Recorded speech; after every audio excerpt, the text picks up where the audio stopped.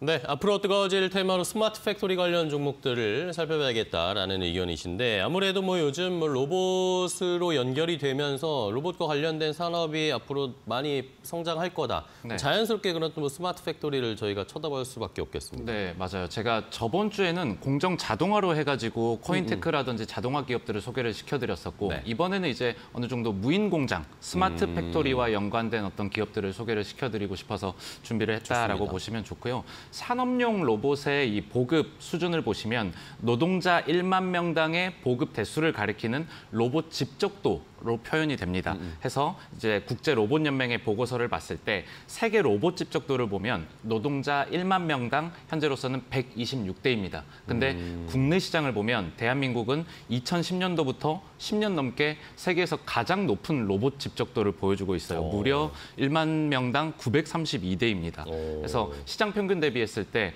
한 7배 정도가 굉장히 높은 굉장히 큰 시장이다라고 보시면 좋을 것 같고요.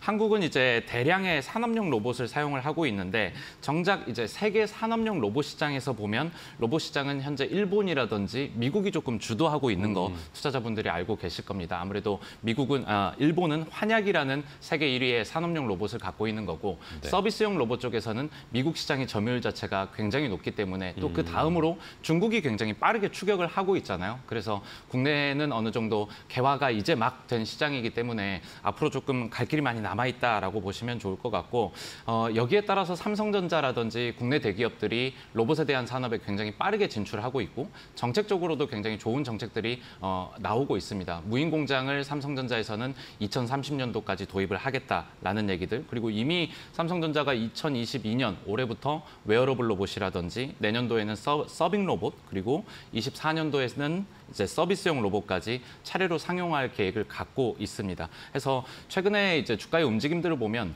로봇이냐 자동화냐에 따라 가지고 주가의 움직임이 다른 것 같아요. 무인 공장이라고 하면 로봇 관련 섹터들 뭐 감속기라든지 액추에이터, 모터 관련 어, 종목들이 움직이는 거고 이제 공정화 자동 공정화라고 하면 이제 저번 주에 소개를 시켜드렸던 코인테크라든지 네. 이제 공정화 관련된 종목들이 움직인다라고 보시면 좋을 것 같습니다. 최근에 배터리 업체라든지 여타 이제 공장들이 보면 생산 공정 관리라든지 고도의 정밀 생산에 대한 수요가 늘어나고 있어요. 계속 인구 고령화도 계속되고 있고 인건비 자체는 지속적으로 상승을 하고 있기 때문에 로봇에 대한 시장, 무인 공장에 대한 시장은 구조적으로 증가할 수 있겠다라고 관심 가져주시면 좋겠습니다. 네, 좋습니다.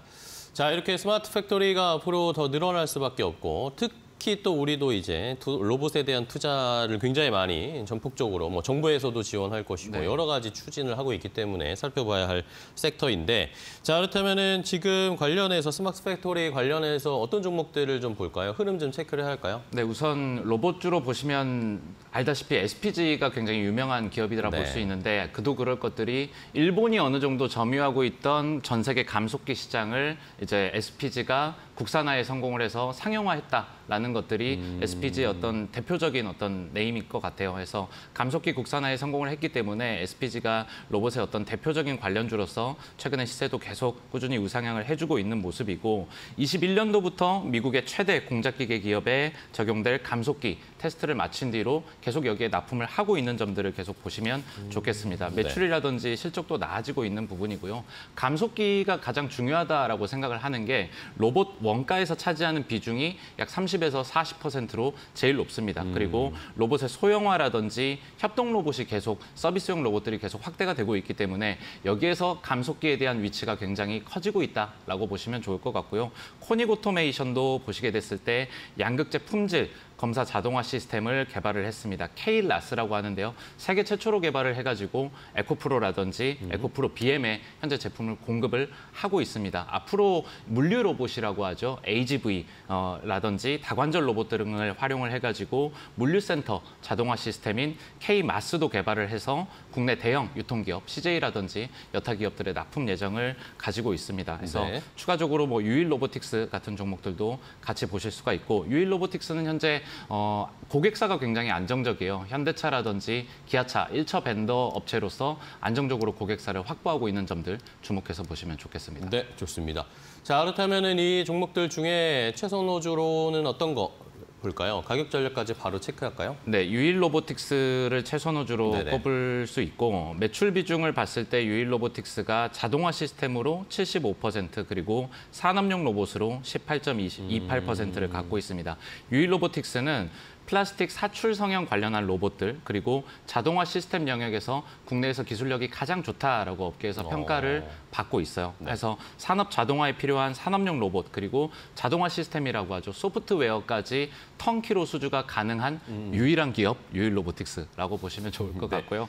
전체 이제 20년도부터 실적이 계속 꾸준히 좋아져요. 로봇 기업들은 이제 막 개화한 시장이기 때문에 실적은 사실 기대를 안 하고 이제 앞으로의 어떤 성장성에 투자를 하는 경향이 있는데 그렇죠. 유일 로보틱스 보면 20년도에는 27억 원의 순이익, 21년도에는 26억 원의 순이익이 났습니다. 그래서 어. 어느 정도 흑자는 지속적으로 내주고 있는 기업이다라고 보시면 좋겠고 다른 이제 경쟁사들이 계속 적자를 내고 있기 때문에 최근 들어서 이제 변동성이 큰 시장에서는 숫자로는 어느 정도 안정적이겠다. 그리고 음, 좋네요. 1,600 1,600여 개 정도 고객사 포트폴리오로 어, 납품한 이력이 있다라는 점들도 기억을 해주셨으면 좋겠고 이번에 청라에 약 8,000평 정도의 8,000 어, 약 8,000평 정도의 공장 부지를 확보를 했습니다. 오. 그래서 유일 로보틱스가 어느 정도 어떤 대량 수주에 대한 기대감도 계속 나오고 있는 것 같아요. 그래서 2023년도부터 착공을 시작을 하니까 본격적으로 이제 공장이 가동이 됐을 때 실적 꾸준히 더 나아질 수 있겠다라고 보고 있고 가격적으로는 현재 가격부터 27,100원 아래로는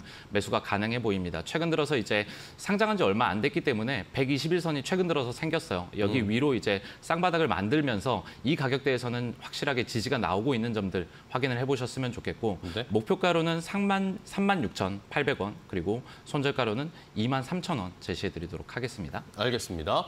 자, 유일로보틱스 지금부터 살 조금씩 조금씩 좀 모아가면 좋겠다라는 의견 주셨습니다. 이 smart factory 관련 종목으로 최선호주 유일로보틱스 함께 알아봤습니다. 자, 오늘 기동현 대표와 함께 얘기 나눠봤는데요. 좋은 insight 주셔서 감사하고요. 다음 시간에 또 대표님 뵙도록 하겠습니다. 고생 많으셨어요. 고맙습니다.